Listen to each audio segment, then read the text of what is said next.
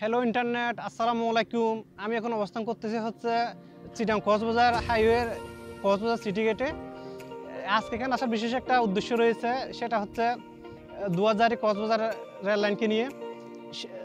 সেখানে আপনাদের সাথে নতুন একটা জিনিসের সাথে পরিচয় করে দেব। অবশ্যই সেটা সেখানে গিয়ে দেখতে হবে। তাহলে চলুন।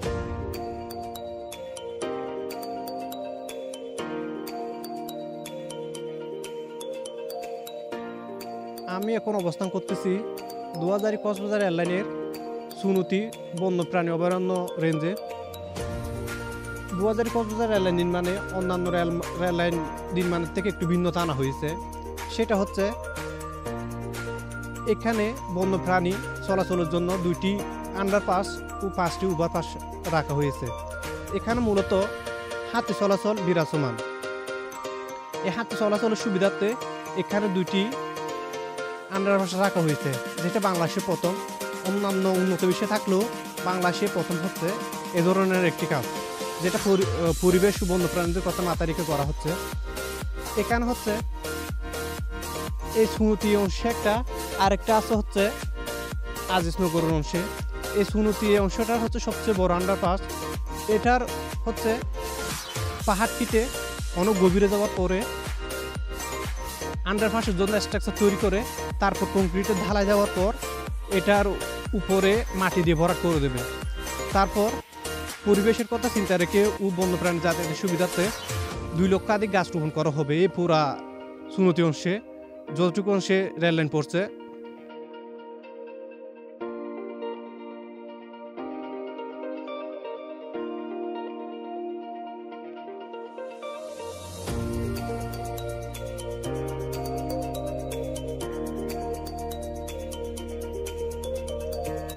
এই দু হাজারই কক্সবাজার রেল লাইনের যে আন্ডারপাস তৈরি করা হচ্ছে, এই আন্ডারপাসের মাধ্যমে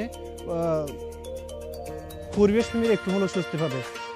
কেননা, এটা বাংলাদেশের প্রথম আন্ডারপাস এবং এই আন্ডারপাস নির্মাণের মধ্য দিয়ে অন্যান্য যে যতগুলো উন্নয়ন প্রকল্প হবে, সেগুলোর মধ্যে এই জিনিসটা প্রয়োগ করার একটা ক্ষেত্র তৈরি হয়ে যাবে।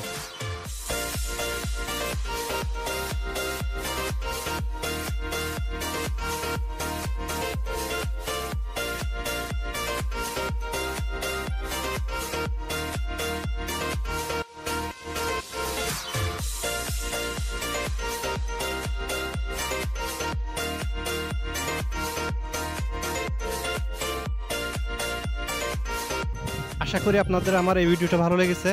যদি ভালো লেগে থাকে তাহলে একটা লাইক করবেন কমেন্ট করবেন শেয়ার করবেন। আর সাবস্ক্রাইব করে পাশে থাকবেন। আশা করি এরপর আরও ভালো ভালো ভিডিও নিয়ে আপনাদের সামনে উপস্থিত হব। আসসালামু আলাইকুম।